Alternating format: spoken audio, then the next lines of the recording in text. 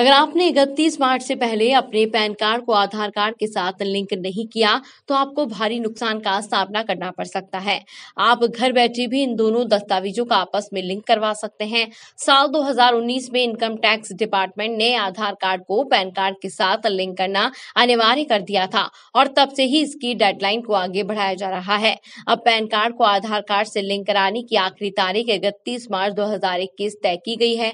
अगर आपने भी अभी तक पैन को आधार को आपस में लिंक नहीं करवाया है तो आज ही करवा लें, क्योंकि इकतीस मार्च के बाद आपको भारी जुर्माना देना पड़ सकता है। इस डेट के लाइन के आधार पर अगर आपने पैन कार्ड से लेन देन करेंगे तो उस पर आपको 20 परसेंट तक टैक्स लग सकता है। भारत सरकार ने पहले आधार और पैन कार्ड लिंक नहीं कराने पर एक हज़ार रुपए लेट फ़ीस तय की थी।